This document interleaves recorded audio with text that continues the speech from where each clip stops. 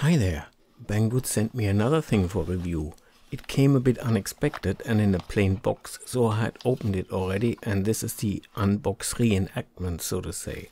I do not get paid for the video, but I do get to keep the thing, so I mark it as promotion. But as you know, that doesn't stop me from giving you an unbiased review. Despite the telescopic antenna, it's not another radio, but the other side of it, an FM transmitter. There is no documentation whatsoever in the box. I copied the specs from the Banggood website. It goes by the catchy name of frequency modulation emitter and sends out an FM stereo signal selectable between 76 and 108 MHz. The frequency can be selected either in 1 MHz or in 100 kHz steps. If you do the math, that means a total of 320 different frequencies are possible and the unit simply remembers the last one selected. This is what they mean with memory function. Transmitting power can be selected in 10 steps between 10 milliwatts and 0.5 watts and the unit takes a standard 3.5 mm jack as input for the stereo audio signal. Power is from 5 volts USB-C. Now to be clear, I believe in many countries you are not allowed to simply start broadcasting on FM. That would be what they used to call a pirate radio station. Moreover, with 0.5 watts output, this thing has quite a range. The blurb on the website says 2000 meters, which would be about 1.2 miles, but some users' comments seem to suggest distances of 6 kilometers or 3.7 miles and more is possible. In my case, I will use this only for lab testing of FM radios, always on the lowest power setting and without connecting a proper antenna, and I'm limiting the scope of the review to that, so no range tests or similar. With that out of the way, on the rear you find three connectors. The socket for a 3.5mm audio jack, a USB-C port for power and the antenna connector. The front has a small LCD display, two buttons up and down and a red LED. The extreme zoom makes the slightly recessed LCD appear a bit out of focus while the front panel is in focus, but I think it's still readable. A 3 second press on the up button switches the unit into the mode to select the output power.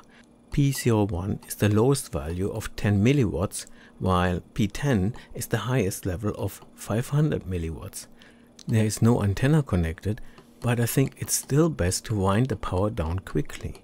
An open antenna socket will reflect power back into the transmitter, which may not be too healthy for the circuit. When the red LED is off, the up-down button changes the frequency in 100 kHz steps. A long press on the down key turns the LED on and now the frequency step is 1 MHz. Another long press on the down key turns the LED back off and now the step size is back to 100 kHz. A few seconds after an input, the LED suddenly flashes a few times. This is a sign that a change has been stored as the new setting and will be restored after power up. This is as far as the user interface goes. Select power level and select frequency. That's it. Let's have a look inside.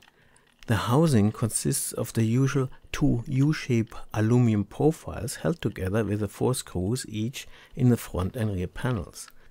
Removing the upper screws on both front and rear allows lifting the top part of the enclosure. The large chip is a TM1621D which is just an LCD driver. Above it is the microcontroller STM32G030F6P6 which uses a 32-bit ARM Cortex MCU, 32 kilobytes of flash memory and 8 kilobytes of SRAM. The GH16D is a voltage regulator to produce 3.3 volts from 5 volts USB. All the FM capabilities are courtesy of the QN8027 chip, but before having a closer look, there are two more transistors which I presume form the power amplifier, but I have not found any datasheets for them. The underside of the PCB has no further components. The QN8027 could do a lot more than what the transmitter's user interface offers, which is a bit of a shame. But then I'm looking at it as a test tool and not for something to send MP3s to a car radio. For start, it also supports 50 kHz step size, which might be important to test receivers meant to operate in certain countries. The chip supports a choice of two audio pre-emphasis time constants, but we don't know which one has been selected by the programmers of this unit. Radio Data System or RDS as well as the RBDS variant is supported, but sadly there's no way of entering data like station IDs and such. For testing purposes, it would have been nice if the programmers had at least preset it with some text, but maybe anonymity is higher valued if you choose to go on the air with this transmitter. A control interface via the USB-C port would be handy, but it's not implemented. On my computer, the USB port of the transmitter is just taking power and not recognized as anything else, like a serial port, for example. Anyway, let's do some tests if you remember from the review of the V115 radio, but now I can test this more definitively. This is a file I made containing just me saying left, right and both to test for stereo. Left, right, both. Left, both. The transmitter is running on 108 MHz with a tiny white piece of wire in the antenna port at the lowest power. The audio file you just saw is playing into the audio input of the transmitter and the little S14732 radio I reviewed a while ago picks it up showing the stereo indicator. Switching over to the V115, it receives the signal with no problems. I turned off the S14732 and hit record on the V115. Right, both, left, right, both, left, and then stopped it. left, The V115 Right. starts playing back the recording, but it also shows the file Both. name RAD006. Let's look at it in Audacity. right, And there you have Both. it. All audio bursts are now identical on both tracks. This confirms my finding that the V115 FM radio does not support stereo. The Tiny SA spectrum analyzer is showing the range from 100 to 110 MHz. The solitary peak at 108 MHz is coming from the FM transmitter. I deliberately connected the Tiny SA over the air, so to say, to not overload it. The signal from the transmitter, with its tiny wire stump for antenna less than half a meter away, is just minus 70 dB. Zooming further in by putting the 108 MHz in the middle and a span of 300 kHz is much better. We can clearly see peaks of some subcarriers. It becomes even more clear when I turn the audio input to the transmitter off. The central peak is of course at 108 MHz and the picture is symmetrical so it's enough to look at only one side. Measuring roughly with a cursor, the first peak after the center is at about 108.202 MHz, in other words 20 kHz to the right. This is the 19 kHz pilot tone indicating a stereo transmission. Then there is a much smaller peak at 39.9 kHz to the right. This is the 38 kHz carrier for part of the audio. There are possibly some further tiny peaks, but it's hard to tell. At the end we have another large one at about 90 kHz. Wikipedia has this image which I'm borrowing here. It's basically the right half of what I showed before. In other words, the 108 MHz line is at the most left. The frequency shown on the bottom must be understood as relative to the base frequency. For example, if the base is 108 MHz, then 19 kHz is actually 108.019 MHz. And of course, there's the same happening on the other side, where frequencies are subtracted from the base frequency. The transmitter adds the left channel and the right channel audio and applies a bandpass to limit it to stay between 30 Hz and 15 kHz to protect the 19 kHz pilot tone. This is what you see here in this box. For example, if the combined signal contains just a pure frequency of 1 kHz, the 108 MHz would become two lines, one of 108.001 MHz and one of 107.999 MHz. The combined signal of left plus right is what mono radios receive. The transmitter also subtracts the right signal from the left signal and the result of that is frequency modulated onto the 38 kHz subcarrier. So if that contained, for example, a pure 2 kHz component, it would show as a line that would be plus minus 2 kHz away from the 38.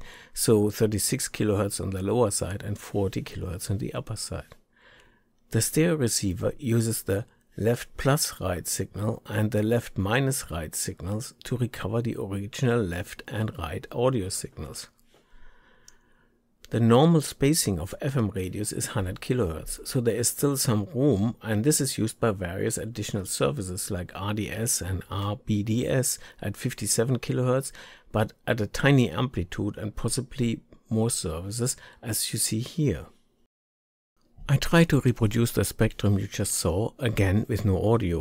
108 MHz is on the far left and the span is 100 kHz. We have the pilot tone of 19 kHz, the peak for the left-right audio at roughly 38 kHz. The next noticeable peak is at roughly 71 kHz, which could be something in what the Wikipedia drawing calls direct band. There seems to be no trace in between for RDS, but that could be because it's tiny and quite possibly in the noise. And finally, at about 90 kHz, a subcarrier for ORDOS but I have no idea what this is used for and why the FM transmitter puts it out, but all in all it seems to do its job. It occurred to me that the S14732 has a stereo indicator, but I had not actually verified that stereo comes out from the headphone socket, so I hooked it up to an amp and speakers. Right, both, left, right, both, left. Yes, right, it's stereo, but left and right are swapped in the S1473 headphone output. My test track and the transmitter made this obvious. The only reason it sounds correct now is that I swapped the speaker wires. And yes, I tested the transmitter with other stereo radios and also the little amp setup and neither swaps channels. Well, the thought occurred to me, what if I feed in two sine signals on left and right and start shifting the phase? Since the transmitter is sending left plus right for mono, the effect should be that at 0 degrees phase shift, the mono left plus right is strong, but at 180 degrees, the mono signal should be 0. For the 38 kHz subcarrier, the transmitter is doing left minus right, so at 0 degrees that's identical signals. The left minus right should be 0, while at 180 degrees it should be strong. I don't really expect a stereo receiver to be affected because in either case you end up with a 2L and 2R signal, but a mono receiver should be screwed. This would be a neat way of instant testing if a radio is mono or stereo regardless of the number of speakers. Strangely, as soon as I started to shift the phase from zero, the audio of the S1473 got weaker and at 180 kHz it had faded completely, but only for a moment, then it recovered. Not sure why, but this was reproducible. I turned the amp volume down and got an old analog mono AM FM radio for comparison. That behaved as expected, with the increasing phase shift, the tone faded and was completely gone at 180 degrees.